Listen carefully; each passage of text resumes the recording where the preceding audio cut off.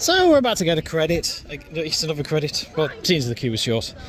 This is a strange looking ride. It's like a sail thing that swings out, and you sit in in Tinkerbell's bottom, it seems, and uh, spin around inside her rear end, which is nice, I suppose.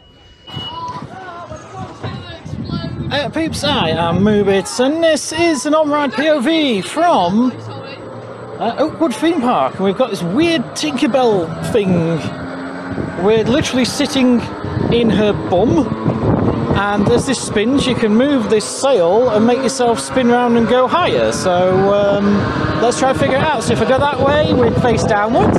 Whee! If we go that way, I imagine we go the other way. Yeah, we face backwards, we face outwards. Like that. Whoa! Whoa! Bell dog's on the on, um, on the one behind. this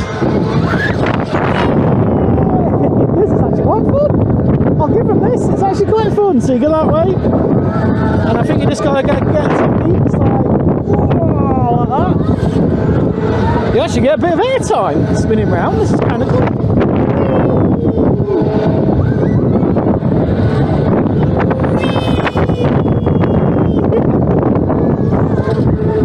See that way? Whoa! So high there, eh? and then if you spin round, you go.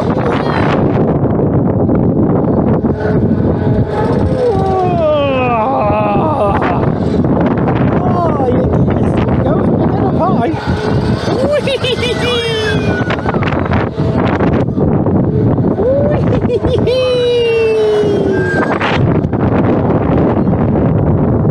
Oh, get dizzy.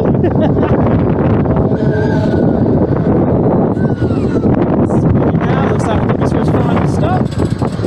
Way! Sideways! Sideways in the sky. Oh! I feel quite nauseous after that.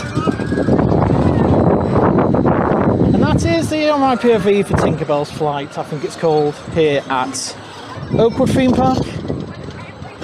Subscribe and all that jazz, and I'll see you in the next video.